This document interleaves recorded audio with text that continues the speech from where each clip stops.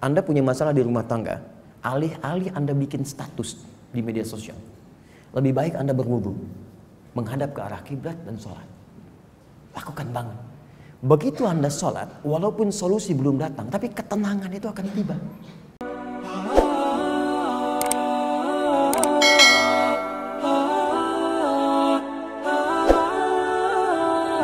Di latihan yang pertama, man amana billah. Kalau iman ingin kuat, maka rumus yang pertama, kerjakanlah semua ketentuan Allah Subhanahu wa taala. Dan saya berikan rahasia, kalau Bapak Ibu bisa menjalani ini, maka ringan semua ketentuan Allah. Baik ya? Ini di antara kita saja. Jadi sebetulnya, betul. Saya serius. Ketentuan Allah itu cuma dua. Gak banyak. Ada yang berapa? Ya, ini rahasia. Betul, saya serius. Ketentuan Allah itu cuma dua. Ada berapa? Dua.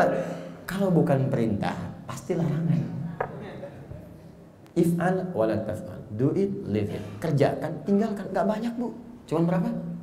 Dua. Kalau nggak kerjakan, tinggalkan. Maka kalau kita ingin kuat imannya, tinggal keluarkan apa perintah Allah, apa larangannya. Dan sederhana, yang diperintahkan kerjakan, yang dilarang tinggalkan. Itu aja komitmen. Tenang hidup kita. Terus nggak usah terlalu kreatif. Ya. Kalau kreatif jadi lebih capek nantinya. Ya, makanya di dalam Quran itu ayat-ayat hukum cuma 300, Pak. Bayangkan 6236 ayat yang hukum tentang hukum itu cuma 300. Karena Allah menginginkan kita nggak terlalu capek. Udah kamu sholat subuh dua aja, jangan banyak-banyak. Ya Allah, kenapa subuh aja nggak empat sekalian kan baru bangun. Ah, baru bangun aja kamu susah. Kedua, sederhana, pokoknya sederhana lah. Kerjakan, tinggalkan. Itu aja. Ini yang dikerjakan, ini tinggalkan. Kata Allah nih kerjakan. Sholat, kerjakan. Puasa, kerjakan. Lisan, baik. Mata, lihat yang baik. Udah, yang ini tinggalkan. Jangan mencuri, jangan dusta, jangan bohong, jangan ini. Udah selesai. Cuman kerjakan, tinggalkan. Gampang ya diucapkan? Gitu. Dan ikhtiar kita saat mengerjakan itu, memang kadang ada kesulitan. Tapi kesulitan itu muncul supaya ada pahala. Kan pahala itu diberikan saat proses, bukan hasil. Jadi kalau kita sedang berproses untuk mengerjakan tadi ketentuan, meninggalkan maksiat, pahala dituliskan. Ya, kata Allah kerjakan sholat, saat sholat pahala dapat.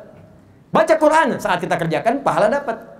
Ya, jadi sebetulnya saat kita ingin memperbaiki diri pun sudah diberikan pahala oleh Allah, Bu, Pak. Kurang baik apalagi Allah. Ini bagian yang pertama. Jadi kalau kita ingin melatih iman kita kuat, keluarkan semua ketentuan Allah. Makanya diteruskan di ayat selanjutnya sebagai detailnya. Anda bertanya, ya Allah, apa aja ketentuannya? Kata Allah, wa aqamas salat. Tuh. Wa ataz zakat. Ada ketentuanku yang terkait dengan ibadah fisik namanya sholat. Kalian nggak usah bayar. Makanya nggak pernah ada orang sholat bayar. Bisa pada kayak ini masjid dulu bahari, iya. Mohon izin Pak, saya malam mau tahajud di sini boleh? Oh boleh, boleh, boleh. Berapa rakaat? Sebelas Pak. Ya udah ya, setiap lima puluh ribu. Gak ada. Sholat tuh amalan fisik. Fisik, fisik, fisik. Coba Bapak Ibu kalau nggak percaya, silahkan. Kata Allah tadi apa? Orang beriman pasti tenang. Masih ingat ayatnya? Baik ya? Masih ingat ayatnya? Saya tambahkan satu ayat lagi supaya nggak lupa. Quran surah 6 ayat 82. Quran surah 6 ayat 82 alladzina amanu wa lam yalbisu imanahum bizulmin faulaika ulaika lahumul amnu wa hum. Orang-orang yang benar imannya dan tidak mencampur adukan dengan keburukan dalam hidupnya, maka aku jamin akan tenang hidupnya, aman. Ya. Lihat, saya ingin aman ya Allah, yakin dengan ketentuanku. Siap ya Allah, bagaimana caranya? Ini kerjakan ketentuanku. Baik ya Allah, apa ketentuanmu? Salat. Salat. Makanya ketika Bapak Ibu salat, akan cenderung hati kita merasa tenang. Itu jaminan. Gak percaya demi Allah saya katakan. Anda gak percaya silahkan Anda kerjakan. Anda punya masalah di rumah tangga. Alih-alih Anda bikin status di media sosial. Lebih baik Anda berwudu. Menghadap ke arah kiblat dan sholat. Lakukan bangun. Begitu Anda sholat, walaupun solusi belum datang, tapi ketenangan itu akan tiba. Enak saat sujud. Bapak punya masalah di kantor, Pak. Macam-macam, kan? Coba ambil wudhu, ya, kemudian sholat, apalagi ke masjid, mau tahiyatul masjid, mau sholat duha, ya sholat anda dua rakaat. Begitu anda sholat atau sholat wudhu, begitu anda sholat tenang pak hati pak. Walaupun mungkin solusi belum datang, tapi ketenangan itu bagus. Dan tenang itu, itu setengah dari solusi yang kita dambakan. Gak percaya silakan. Kata Allah baca Quran. Fakra'u ma tayassara minal Quran. Ya. Anda belum bisa sholat, ambil wudhu, buka mushaf, baca Quran. Demi Allah saya katakan, begitu mushaf dibuka, ketenangan akan tiba. Apalagi ketika dibacakan itu. Ya. Ya Allah, saya ikhlas dengan musibah ini. Bukan suratnya al-ikhlas. Makanya Nabi sering memberikan fadilah dalam surat Al-Quran. Yang sedang bersedih baca surat Yusuf. Ya, yang ingin diperluas rezeki mudah baca surat Al-Waqi'ah, yang ingin diberikan naungan di hari kiamat seperti dua awan yang melindungi baca Al-Baqarah dengan Ali Imran. Ada. Yang ingin dijaga di alam kubur jasadnya baca Al-Mulk. Ada. Semua punya faedahnya. Makanya silahkan Pak, biasakan baca Quran, baca Quran, baca Quran. Bahkan baru Anda buka dibaca setiap huruf ya diberi 10 pahalanya. Kalau sholat selesai baru 10. Quran sehuruf 10. Masya Allah. Berapa dosa yang dikumpulkan? Dosa itu kan kalau dikerjakan satu kan? Mata satu salah, telinga satu salah. Berapa kali mata salah dalam sehari? Hitung. Terus untuk nutupnya bagaimana? Kan konsepnya begini, dosa pahala, dosa pahala. Kalau dosa ingin gugur, pahala mesti banyak, gitu kan? Maka Anda mesti cerdas cari banyak amalan yang pahalanya melimpah. Baca Quran. Duh, dosa berapa hari ini? Allah Akbar 15, banyak banget 15. Toha. Beres 20.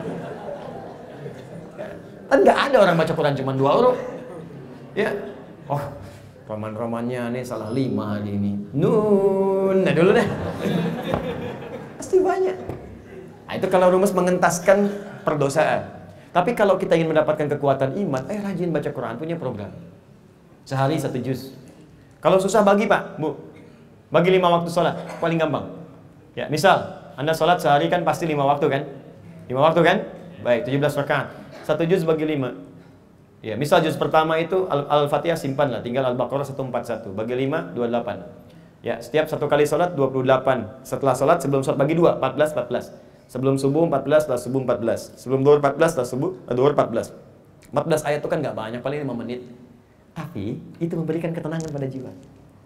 Oke, sahabat-sahabat Nabi, saya lihat teman-teman ada yang bisnis, berusaha, ada yang di kantor, di mana-mana. Itu sahabat Nabi itu sebelum berangkat sholat dulu di rumah. Kadang nunggu sampai suruh maaf di masjid ke masjid.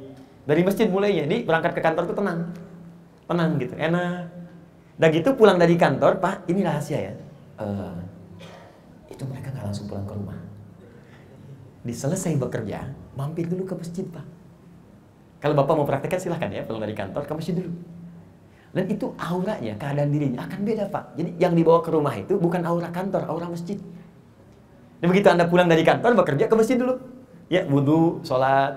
Anda sebelum berangkat bermohon kepada Allah diberikan rezeki yang baik, pulang dari ikhtiar di kantor ke masjid dulu. Bertawakal kepada Allah dengan ikhtiar yang telah dikerjakan. Ya Allah, aku telah berikhtiar seperti apa yang telah engkau perintahkan. Sekarang aku bertawakal dari rezeki apa yang telah engkau tetapkan. Pulang ke rumah yang dibawa aura masjid. Tenang. Ini melihat istri itu enak. Gitu. Dan anak-anak tenang karena yang kita dapatkan itu adalah aura-aura masjid. Kalau kadang-kadang langsung ke rumah tuh beda, apalagi di jalan macet, tuh kan? Pampim, pampim, pampim, proyek belum selesai. Wah, suasana bising nyampe rumah. Uh, Assalamualaikum, papa, diam kamu. Wah. Ya, saya sering katakan, kadang keluarga itu yang ditunggu bapaknya. Bukan status Anda di kantor. Anda boleh jadi direktur. Tapi demi Allah saya yakin betul anak-anak akan panggil Anda pulang ke rumah. Pak direktur, nggak ada. Ibu manajer nggak ada. Ayah, papi, Abi, ya kan? Itu, daddy, daddy, itu yang diinginkan. Ya. Abati, itu yang diinginkan. Saya seumur umur pulang ke rumah nggak pernah disebut Ustadz. Ustadz! Ada tuh.